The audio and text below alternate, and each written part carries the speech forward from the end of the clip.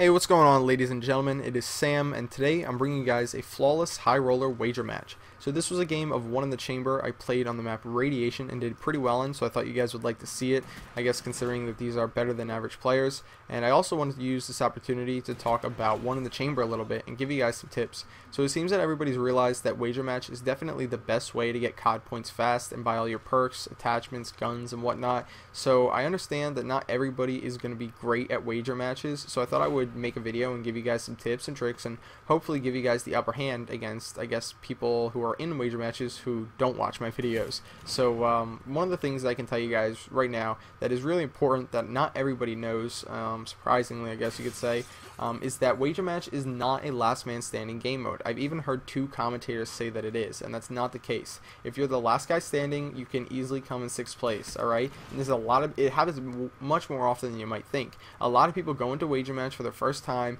or you know maybe not the first time maybe they just don't understand that you know uh, it's different but a lot of people go into one in the chamber and will camp their ass off for three minutes because they don't want to lose their COD points. And then what happens is they will end up losing the game. They'll get maybe the last kill or the last two kills and they'll think hey I won. But really it, it's about who has the most kills in any given amount of time. So the best advice I can give you guys is to run around. You want to rush as much as possible and find people who are playing slightly more defensively than you are. And the reason why you want to do that is because rushing around makes you a harder target to hit. And if you find people who are playing more defensively than you are, then you're going to be able to find people who who are easier targets. So that's the best advice I can give you guys for wager match. This was a uh, 8 0 wager match I thought you guys would enjoy seeing. Please guys give this video a like if you'd like to hear some more tips for wager match and see some more awesome wager match gameplays like this one in the chamber game. And I'll see you guys later. Bye.